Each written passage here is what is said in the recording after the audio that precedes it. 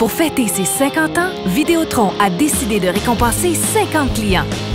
On a célébré récemment nos fidèles clients à travers le Québec en allant les surprendre chez eux et on leur a remis des prix étonnants. On a aussi célébré les clients amateurs de sport et de hockey. Une journée remplie d'actions, de récompenses inattendues et très fortes en émotions.